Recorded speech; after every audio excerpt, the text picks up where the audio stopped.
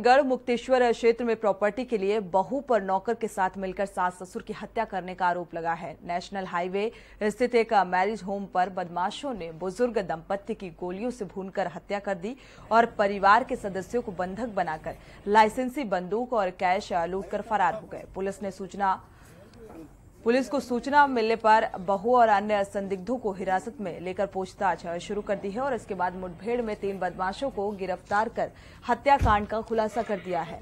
Police ने लूटी गई बंदूक, कैश, तमंचा और बाइक बरामद कर ली है। नौकर सहित दो आरोपी मौके से फरार हैं।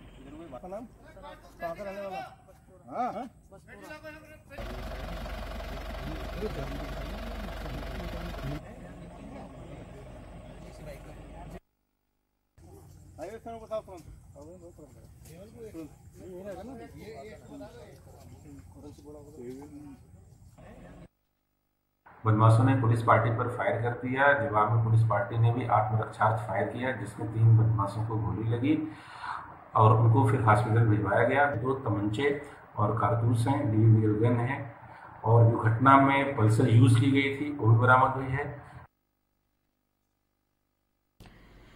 बढ़ते